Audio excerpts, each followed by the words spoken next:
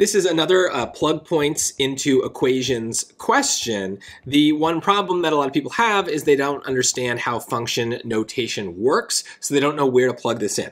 But what they're giving us here is the entire value of g of x, which remember is another way of saying y, so we're going to sub that 54 in for the entire g of x. So our equation should be 54 is equal to 6x, and then we can just divide by 6 to find that x is 9. And that is our answer.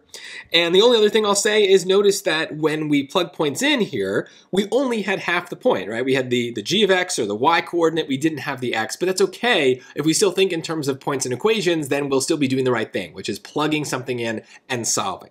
That is a very common way to solve a lot of questions on the SAT.